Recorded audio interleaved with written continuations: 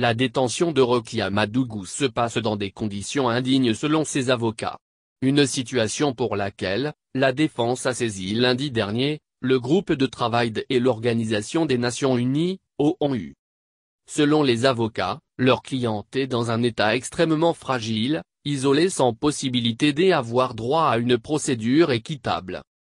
Pas d'accès au téléphone, pas de radio, pas de télévision une visite trois fois par semaine de sa mère qui, elle, ne peut qu'échanger sac plastique avec de la nourriture et à qui elle n'a pas le droit de parler, avait indiqué M. Mario Stasi quelques semaines avant. Accusé des associations de malfaiteurs, de financement des actes terroristes, et l'ex-ministre Rokia Madougou a été arrêté le 5 mars dernier et déposé en prison. Rappelons qu'elle fut candidate officielle investie par les démocrates lors de la présidentielle dès avril 2021. Toutefois, sa candidature sera rejetée pour faute de parrainage.